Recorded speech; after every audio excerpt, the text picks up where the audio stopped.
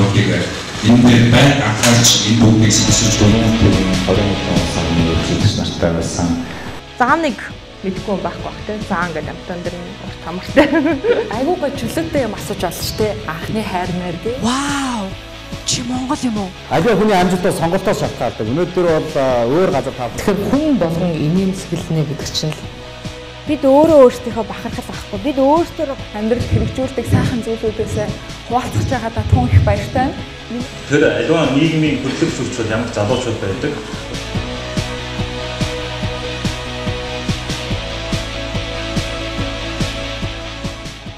Намайг өөрийн гэдэг би бол карьерийн зөвлөх буюу карьер коуч мэрэгчлээ. А сүүлийн 10 гаруй жил а сая эхний хэлдгээр Америк энтгэгчт мэрэгчлэрээ ажиллаж байгаад ирсэн. 3 жилийн өмнөөс Монголд ирээд үйл ажиллагаа явуулж байгаа. Бямсах төвөрийн туяа. Энэтхийн Бангалore их сургуулийг бизнесийн удирдлагын магистр цол тэмдэгтэй. Америк нэгдсэн улсын Стрейр их сургуулийн төвийн удирдлагын магистр цолтой. Төрийн удирдлага, бизнесийн удирдлага мэрэгжилтэй, Монголын карьерийн төв, төрийн бас байгууллагын тэргүүн, карьерийн зөвлөх. GCMC компани үүсгэн байгуулагч захирал, хүний нөөц, карьерийн менежмент, төслийн удирдлага чиглэлээр Америк нэгдсэн улс энэтхийг Монголд ажилласан 10 гаруй жилийн туршлагатай мэрэгчсэн зөвлөх. Лекцийн маань сэдв хөдөлмөрийн зах зээл ба таны бодит үнэлэмж гэж байгаа тийм ээ. Тэгэхээр яагаад би энэ асуултыг асуусан бэ гэхээр оюутан мөртлөөс ажил эрхэлж байгаа залуучууд үнэхээр мундаг байна. Яагаад гэхээр ажил эрхлэн гэдэг чинь өөрөө амьдралын боловсрал байдаг. Ажил эрхлэн гэдэг чинь өөрөө амьдралын баталгаа байдаг. А оюутан мөртлөө ажил эрхэлж чадж гинэ гэдэг чинь тодорхой хэмжээгээр өөрийнхөө зүг чгийг олоод өөрийгөө аваад явж чадж гинэ гэсэн үг. Тэгэхээр Миний хувьд яасан бэ гэхээр өөрийнхөө түүхээс товчхон танилцуулъя. Би анх 16 наснда оюутны болон ажлын гараагаа эхэлж байсан. Хүмүүнлэгийн ухааны их сургуулийг англи хэл багш орчуулагчийн мэрэгчлэр төгсөөд энтгээг дараагаар нь Америкт суралцаад түүний дараагаар энтгэхийн Mainstay Teleservices буюу Британий аутсорсинг компанид ажиллаж байсан. Дараагаар нь Америкт IT Central Staffing болон Verizon Communications гээд та нар магадгүй AT&T гэж мэддэг байх тийм үү? Маш том телеком компани байдаг. А тэдний том өрсөлдөгч компанид мэрэгчлэрээ ажиллаж байсан туршлага цуглуулсан. За тэгээд яасан бэ гэхлээр а ер нь бол миний гол мөрөөдөл зорилго маань юу байсан бэ гэхлээр а би өөрийгөө Монгол хүний хувьд дэлхийн хэмжээнд үнэлүүлэх зорилго тавьж мөрөөдөж Америк нэгдсэн улсыг зорьсон. А тэр хэмжээндээ очоод топ компанид нь тодорхой хэмжээний дунд менежментийн төвшөнд баргийн Америк хүний авж байгаагүй цалин бол авч чадсан. А үүгээрээ бол Монгол хүн дэлхийн топ талент байж чаддгиймаа гэдгийг баталж чадсан байгаа. Тэгээд энэ 10 жилийн хугацаанд бол мэдээж хэрэг хүний нөөц, project management, career management гэсэн салбаруудад ажиллаад тодорхой туршлага хуримтлуулад А ер нь одоо би утга учиртай амьдрах цаг маань ирсэн байна. Миний хувьд амжилт гэдэг маань өөрийгөө үнэлүүлэх байсан. А үүний дараагаар юу вэ гэдгийг асууж эхэлсэн. А тэгэд тэр маань бол эх орондоо буцаж иргэн ирээд залуучуудаа амжилтын гарааг нь зөв эхлүүлэх юмсан, карьерийн менежментээр нь чиглүүлэг өгөх юмсан гэсэн хүсэл эрмэлзэлтэйгээр эргэж ирээд ажиллаж байгаа. А энэ хугацаанд 3 жилийн хугацаанд GCMC буюу хүний нөөцийн топ талент хөлбөрийн зах зээл дээр хамгийн их эрэлт хэрэгцээтэй байгаа захирлууд болон нарийн мэрэгжлийн өндөр цалинтай хүмүүсийг ангуучилдаг. Тэдгээрийг тодорхой хэмжээнд карьерийн менежментийн зөвлөгөө өгч чиглүүлдэг ийм ажил хийсэн. А тэгээд амжилт маань юу вэ гэхээр 3 жилийн хугацаанд хүний нөөцийн зах зээлийн тодорхой хэмжээгээр хөгжсөн гэж харж байгаа. Head hunter гэж та нар сонссноо? Сонссон тий. Одоо тодорхой хэмжээр мэддэг болцсон байна А 3 жилийн өмнө л байгаагүй юм байгаа юм зах зээл. Яаж ажилд ордог байсан бэ? Танил талаараа тийм үү? Эсвэл өөр. Яг өөрөө өөрийгөө ботоор үнэлүүлээд жуучлуулад ордог тэр нөхцөл маань бол бүрдэж чадаагүй байсан байгаа. Тэгэхээр 3 жилийн өмнө анх ажиллахдаа Монгол хүний үнэлэмжийг дээшлүүлье. Монголд дэлхийн хэмжээний топ хэмжээний тэр талент буюу авиаслаг чадварлаг залуучууд маань үнэлэгдээд их орондоо их орныхоо хөгжил төв нэмрээ оруулах тэр хөдөлмөрийн зах зээлийг бий болгохыг зорж ажилласан.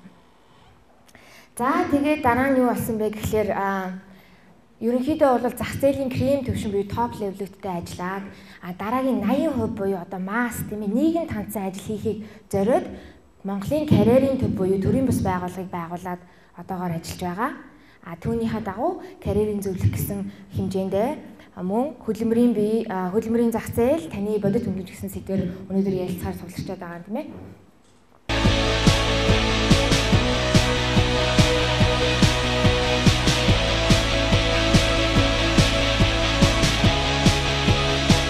залуучууд тавхийг энэ дээр байг анхаарч энэ бүгдийг сонсож төрлийн 21 сарын үзэгч нартай байсан.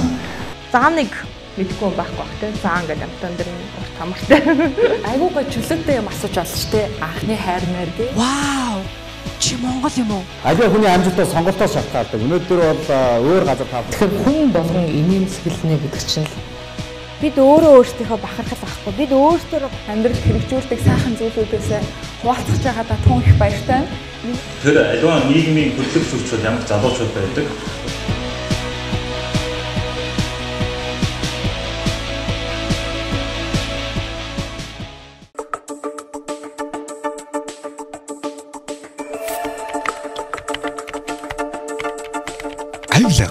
Сонирхлын зөрчлийн тухай мэдээ мэдээллийн нэгдсэн сан хамгийн их авилгатай аймаг салбар байгууллагын жигсаалт таны оролцоотойгоор нийгмийн хор талдруулсан авилгын эсрэг тэмцэлд бодит үр дүн ахиц гаргана. www.avилга цэгмэн ажлын гараагаа хэрхэн зөв эхлэх вэ гэдэг талаар бас ярилцъя. А түүний дагаар мэдээж хэрэг дэлхийн хэмжээтэй топ хэмжээний хүмүүс маань амжилтын нууц нь юундэ байдаг мэ гэдэг талаар бас ярилцсан юм. А 2013 оны судалгаагаар нийт иргэдийн 67% нь хөдөлмөр эрхлэх насны байдсан байна. Тэр нэгсэндээ 15-аас 59 насныхан. А түүний 58% нь 15-аас 30 насны залуучууд. Нэгсэндээ залуучууд.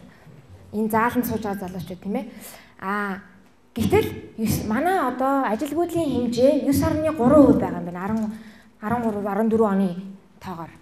А үүний 15-аас 34 насных нь яг албан ёсоор ажилгүй гэж бүртгэгдсэн, ажил хайж байгаа гэсэн бүртгэгдсэн тоо баримт нь 15-аас 34 насныхан байдаг юм байна. Дөнгөж сургууль төгсөж байгаа оюутнуудад хөдөлмөрийн зах зээл хэрхэн байна вэ гэдгийг бас судалж үзлээ.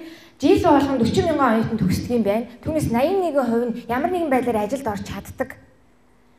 А гэтэл 60% нь жинхэлж чаддаг юм байна. Бас нэг сонирхолтой судалгаа хийж үзсэн. А тэрний үгээр оюутнуудын 4 жил сурж байхдаа өөртөө зарцуулдаг хөрөнгө оруулалтын тоо гаргаж үзлээ. Гэтэл тэр маань ойролцоогоор 17 сая төгрөг гардаг юм байжээ.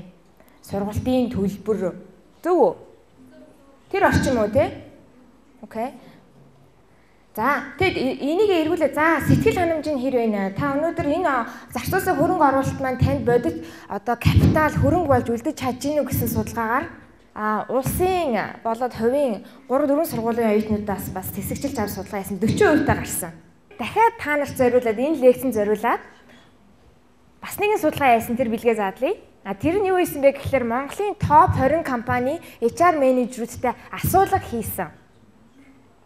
Гэтэл тэд нар бас айтах юмнаар хэлсэн. Дандаа та нар өөрсдөө бас мяалж штэ тий. Боломж болцоо байдгийн байна. Өөдрөг юм хардгийн байна Өө дөнгөж төгсөн хүүхдийг манайх авах дуртай. Яагаад гэсэн чинь оо муу санаа суугаагүй байдаг. Окей. Ажилдаа сэтгэлээсээ ханддаг. Ажлын гүйцэтгэл сайтай байдаг. Сурчи, мэдчи, хийчи, өөрийгөө үзүүлчи гэсэн сэтгэл хандлага байдаг. Аха. Аа, ихэнх нь ганц бие байдаг. Гэр бүлийн ямар нэгэн асуудалгүй те. Ачаалдах чадвартай байдаг. За, өөр шин зүйлийг сурах дуртай. А цалин бас нэг асуудаггүй. Яаж асуух юм бэ тийм үсттэй. Туршлага байхгүй, чадвар байхгүй, ололт амжилт байхгүй, хийж бүтээсэн зүйл байхгүй байгаа юм чинь. Тэгэхээр ажилтаа л болж ивэл гэсэн сэтгэлээр орох гэдэг байна тийм үү? Тэгэхээр сайн мэдээ энэ байна. Монголын 5 топ 20 компани HR-ууд та бүгдийг ажилд авах сонирхолтой. Окей? За гэтэл гэтэл яагаад 60% нь жинхэлдэг юм бэ? Гэсэн юу гэсэн? Хоёр том ямиг ярьсан ерөнхийдөө болвол яагаад вэ гэхлээр тэдгээр залуучуудад маань зөрүү гардаг. Юуны зөрүү вэ гэхээр хандлагын зөрүү. Тийм үү? Бэлэн биш байна л да. Юугаараа гэхээр хараа яг ингэж оюутны төлөв байдал гэж энд байна тийм ээ. А энд альбан хаагчийн төлөв байдал гэж байна тийм. Арай хоёр өөр орчин байгаа биз? Нэгсэндээ ус төлөв байдлаас мөс төлөв байдал шилжих ёстой байх ёстой хана тэ. Бэлтгэгдэх ёстой. Тэр бэлтгэл нь хангагдаагүй байдаг. Сэтгэл зүйн хувьд, үзэл бодлын хувьд, чадрын хувьд, мэдлэгийн хувьд Тэгэхээр энд хамгийн тэр том зүрх нь гарч байгаа шилжилт хөдөлгөөн дээр.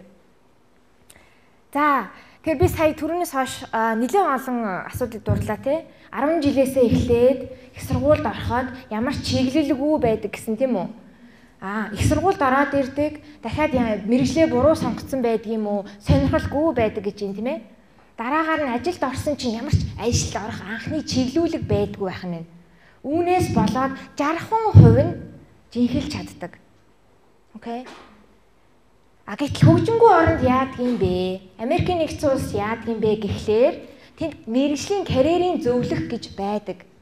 10 жилээс нь ахуулаад 10 жилээс нь 8 дугаар ангиас нь ахлах ангиас нь ахуулаад бүхэл бүтэн нэг кредит хичээлийг за чи юу болох вэ гэдэг талаар нь ярилцдаг. Жишээлбэл эмч эмч болох хүсэлтэд мөрөөдөлтөө өгт байлаа гэж бодоход за тэгвэл чи яваад цэцэрлэгт очиод багшил дадлага хийгээ явуулцдаг.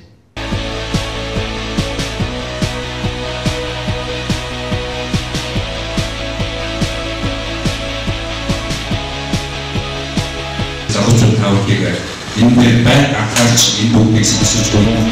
20 сарын үзэгч нартай байсан. Зам нэг мэдгүй байхгүй бах те. Заа ингээд амтан дээр урт хамартай. Айгуу гоо чөлөөтэй юм асууж олж те. Анхны хайр мэр гээ. Вау!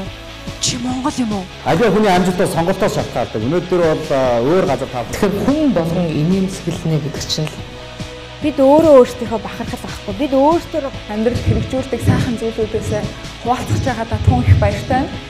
Тэр аливаа нийгмийн хөдлөх зүйчүүд ямар залуучууд байдаг.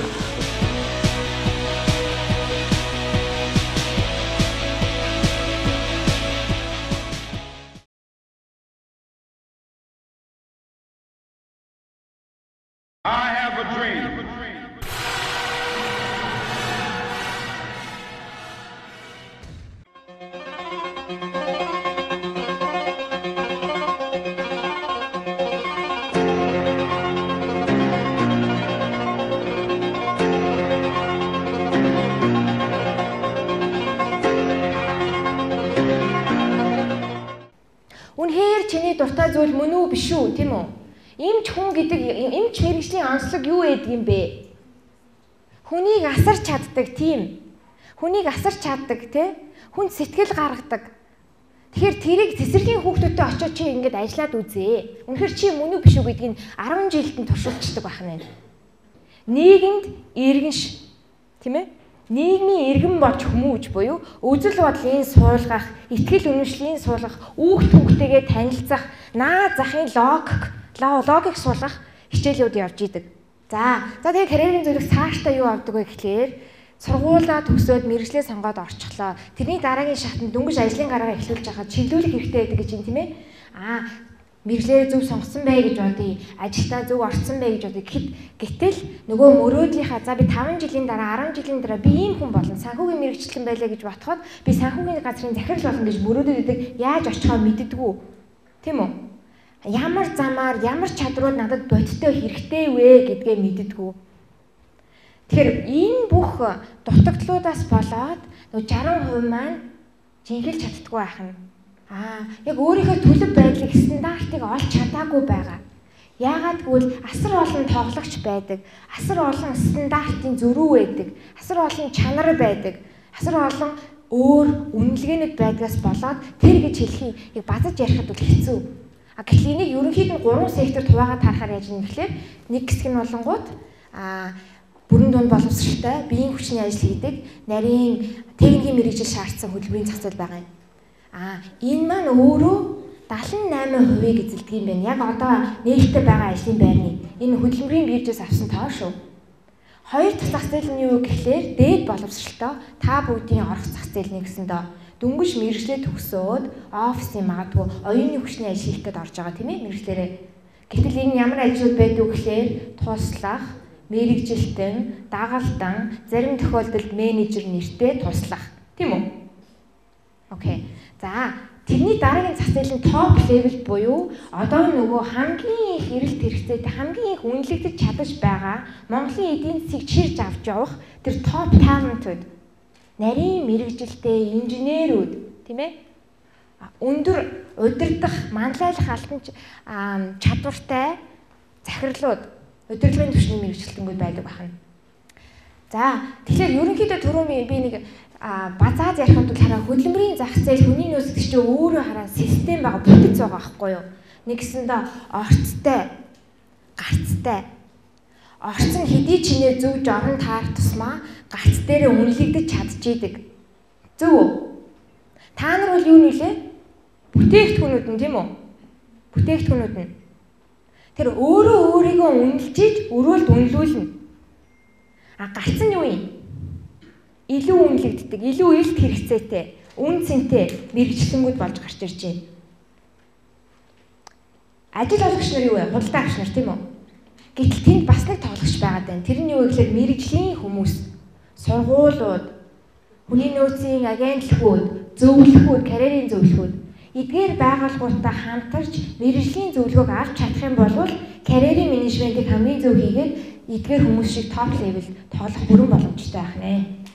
Ер нь бол эргүүлээд бацгаад та өөрийнхөө үнэлэмжийг өөрөө л бүтээдэг бахан тийм үү? А үнэлэмжийг чинь мэрэгжлийн хүмүүс дээшлүүлж чадна. Тийм ээ? Тэгэхээр цөмөөрөө үн сэтгэлээсээ сэтгэлийнхээ галаас зүрхнийхаа гүнээс оюун санааныхаа тэр ертөнцийн гайхамшигтай тэр өөрийн чинь ондоо гэсэн санаа бүтээлийг бий болгоод гаргаад ирээч. Тэр цагт Хин нэгэн үнэлэхгүй байсан гэсэн та өөрөө бүтээмжийн кафег мэдрэх болно.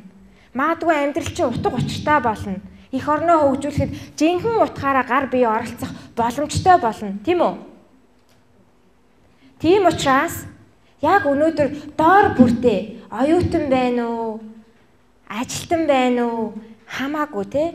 Яг доор бүртээ өөрийн сэтгэлээр хандаж хийж чадах юм бол энэ үл жинхэнэ их оронч үзэл мөн үү? Тэр улс төр эдийн засаг том том яриха болио. Зүгээр л өөртөөсөө эхэлчихье. Өөрийн хэсэг хандах хэрэгтэй. Миний хийж байгаа энэ тусал далаа тусал нэмэр тий? Гэж харж чадах юм бол Монгол орон хөгжин штэ. Бид нар дэлхийн залуучууд байж чадна.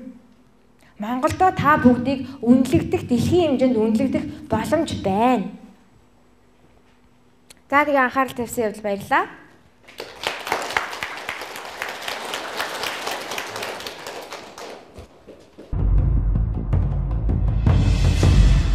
Халуухан насны элчтэй хийж бүтээхийн эрчтэй оюуны их бэрхтай ориглон хүсэл тэмүүлэлтэй зөвхнөөдөө Монгол залуусын заяанөөдөө оршигэ. Монголын залуучуудын холбоо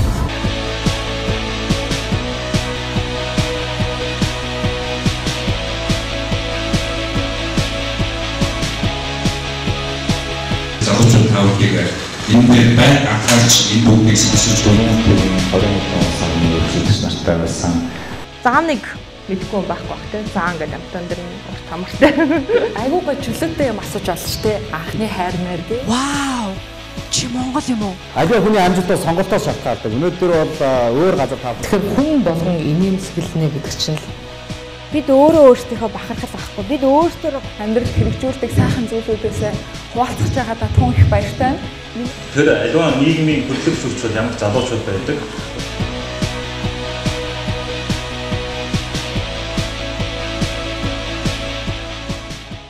Таны бахархал юу вэ? Миний бахархал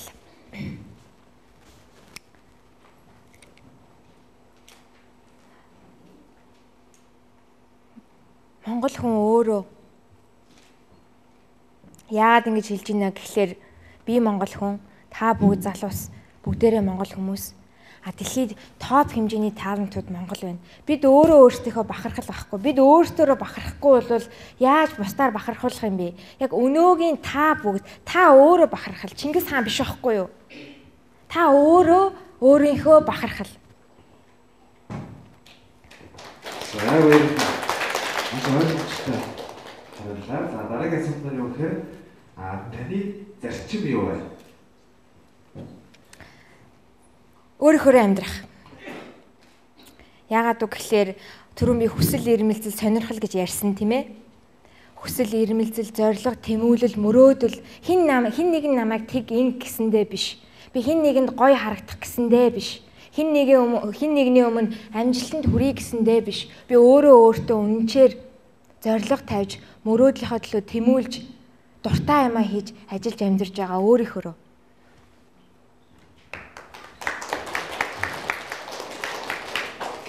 За дараагийн асуулт маань зөв монгол хүн гэж хэмээ. Зөв монгол хүн. Сэтгэлтэй монгол хүн. Сэтгэл дутагдаад байна.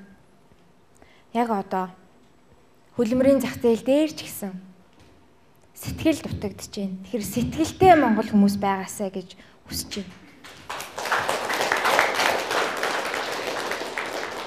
Баярлалаа. Дараагийн асуулт маань дэлхийн залуу болоход бид яах ёстой вэ?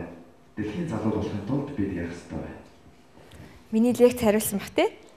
Тийм үү? За өөр нэг хэлэх зүйл бол дараагийн асуултыг асууя тийм ээ. За дараагийнх нь асуулт биш уриалга байгаа байна. Тэгээ нэгсэндээ одоо энд байгаа залуучуудаа таны зүгээс бас хүсэж байгаа уриалга. Өөр юмсэг бай. Эх орон чүсэлтэй бай. Монголчин 3хан сайн штэ тий. Хөлбөрийн зах зээлийн төрөө юу гэж ирлээ? 59% нь залуучууд. Монголын 70% нь залуучууд. Бид бүгд Монголын ирээдүй. Тийм үү? Тэгэхээр энэ улс төрчид биш байхгүй юу? Тэр удирдлаганд дээр сууж байгаа хүмүүс биш. Бид нэр өөрсдөө Монголын ирээдүй. Эх орон үзэл биднэрт биднэрт байх юм бол Монгол орон хөгжих амархан ойрхон байгаа. Тэр юунаас эхлэх үг гэхээр өөр юмсэг байхаас эхэлнэ. Аливаа хийж байгаа юмдаа л өөр юмсэг байчих. Өөрөө өөртөө үнэнч байчих тийм үү? Хин нэг нь гой харагдах гэж биш те. Хин нэгний өмнө алдартай од болох биш, амжилттай болох биш. Зөвхөн толинд хараад энэ хүн өөрөө өөртөө үнэнч байж чадж гэнэ үү? Би хин юм болоо гэдэгтээ хариулж. Яа баярлалаа. Яа тэгэхээр а бидний асууж байгаа таван асуултанд маань та маш богино хугацаанд ойлгомжтой хариуллаа.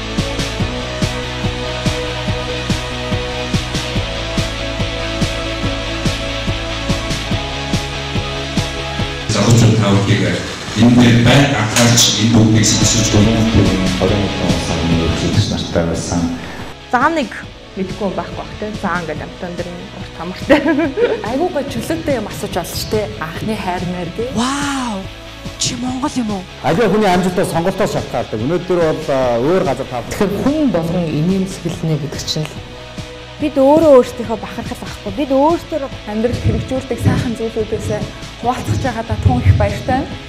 Тэр аливаа нийгмийн хөдлөх зүйчүүд ямар залуучууд байдаг.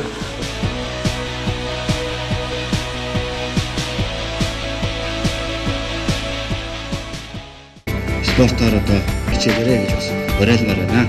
Бид хийхгүй бол хэн хийх вэ? Одоо хийхгүй бол хизээ хийх вэ Монголын залуучуудаа та бүхнийг уриалж байна. Өнөөдөр хамтдаа залуучууд бид чаднаа гэдэг энэ танхимдаг цангид нэгэн дуу хоолойгоор хэлэж бодож байна.